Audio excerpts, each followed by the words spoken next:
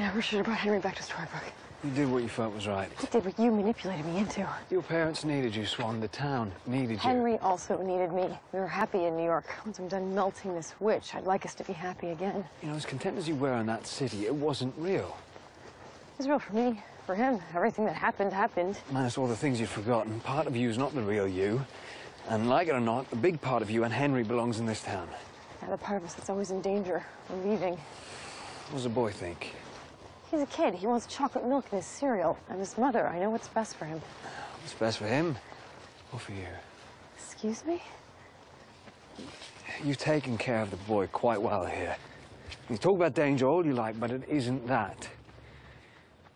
So tell me, what is it? Why are you so scared of staying? I think it's because you can see a future here. A happy one. I guess. With you? Aw, you two are so adorable.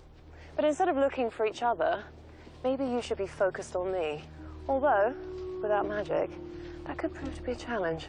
Next time you try to take my power, why don't you try enchanting the lips of someone I'll actually kiss? See, Emma, you've got a decision to make. You can keep your magic, which makes you oh so sad. Or you can save the man that you can't wait to run away from. Rumple?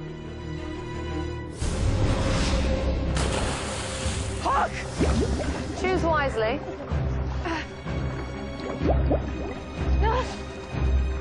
Try all you like. You can't free him.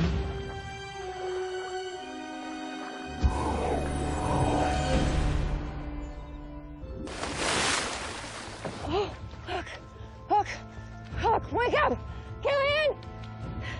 Killian, come back to me.